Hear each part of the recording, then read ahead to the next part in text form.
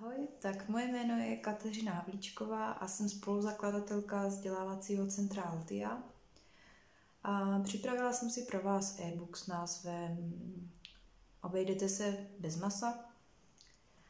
A proč právě tento e-book? No, to z toho důvodu, protože už necelé dva roky se stravuje jako vegan a přineslo mi to ohromné pozitivní výsledky. Hrozně moc mi to dalo. A já bych se právě o tyto skvělé poznatky v tom veganství chtěla podělit i s vámi.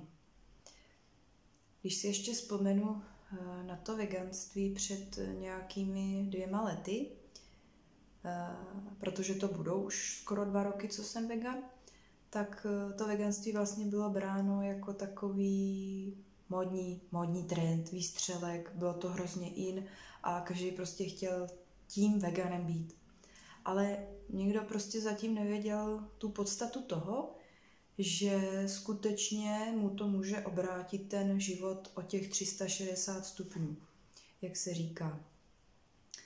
Ale můžu se přiznat k tomu, že já jsem se tou vlnou být in nechala taky pohltit, což je teda pravda.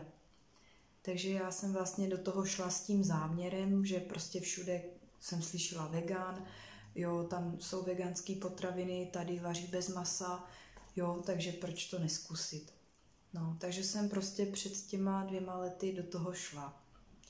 Samozřejmě nebylo to za tím účelem, že bych e, nějak moc milovala zvířátka nebo mi jich bylo líto. To ne, ale bylo to prostě tou vlnou, kterou jsem se nechala nějakým způsobem pohltit. Takže vlastně jsem nějak do toho takhle spadla a když si třeba vzpomenu na ty svoje začátky, třeba na první týden bez masa, tak to bylo, tak to bylo úplně super.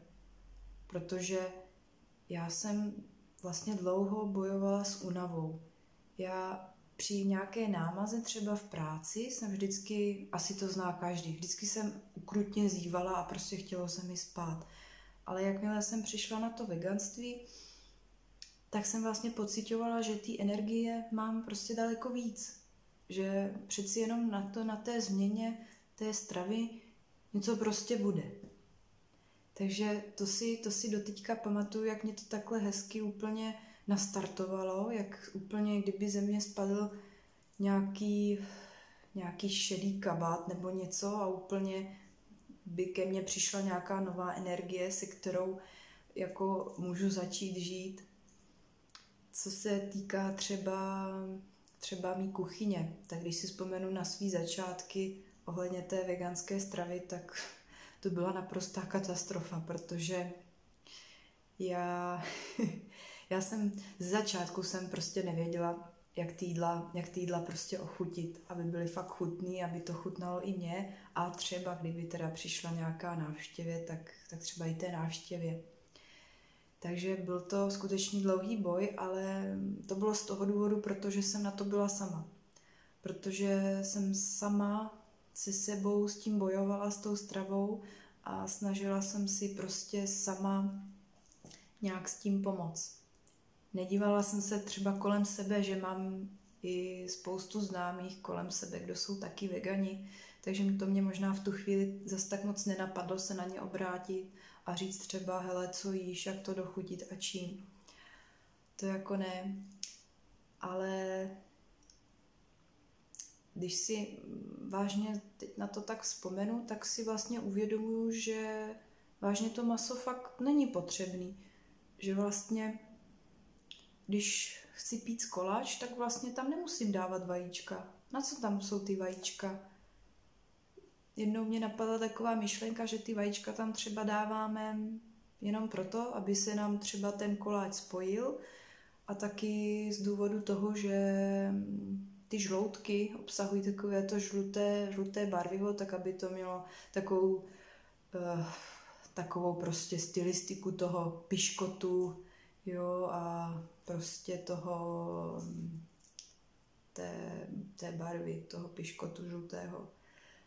No ale mimo to, to veganství jakoby je ještě pořád teď takový módní trend.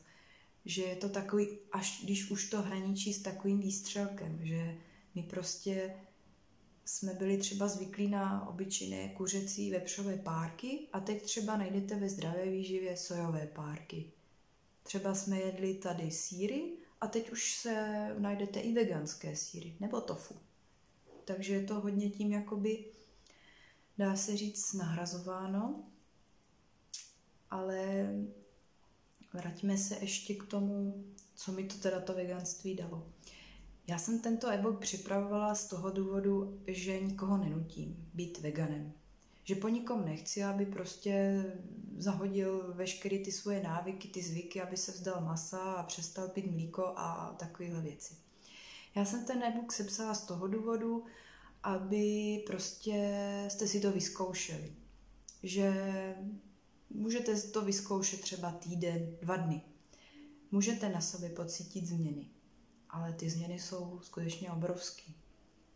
Nejenom, že kila půjdou dolů, což je dokázaný, a spoustu, spoustu prostě těch um, všežravců, masožravců vám to jenom potvrdí, že po veganské stravě skutečně hodně zhubli.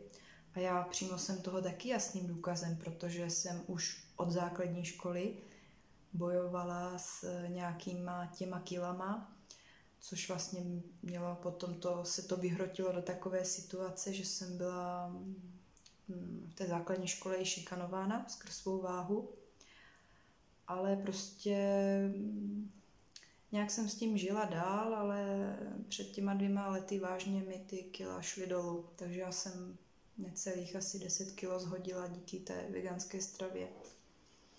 A vlastně člověk si třeba řekne, že v tom veganství se třeba v něčem omezuje, ale vůbec to tak není, protože dneska už takovou možnost máme. Dnes už prostě máme možnost si zajít do nějaké veganské cukrárny, dát si tam třeba dortík, který vážně nerozeznáte od skutečného. Jo. Takže takové možnosti máme. Ale když to vezmu třeba o nějakých pár let zpátky, tak vlastně nebyla, nebyl takový výběr v tom. Takže si myslím, že pokud o tom jenom přemýšlíte, tak proč do toho nejít a nevyzkoušet to.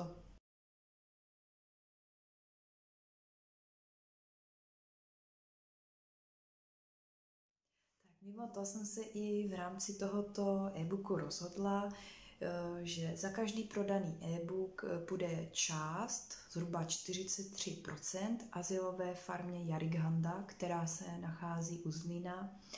A je to právě farma, která se stará o zvířátka, který, které jsou právě z těchto velkochovů nějakým způsobem zachráněna. Takže si myslím, že je to úplně úžasný nápad to takto hezky spojit, tento e-book o veganství, tady s touto podporou tohoto tohoto úžasného projektu. Takže jim můžeme přispět na podestýlku, na různou péči pro ně a také krmení. Takže vám moc děkuji a věřím, že s tímto e-bookem se vám budou skutečně dít pozitivní změny, že změníte své vnitřní nastavení a že budete zažívat už jen samé pozitivní věci plné vitality, zdraví a taky pomůžeme zvířátkům.